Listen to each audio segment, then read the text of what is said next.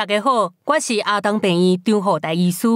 注射过 COVID-19 疫苗了后，会当预防感染、降低重症甲死亡的风险。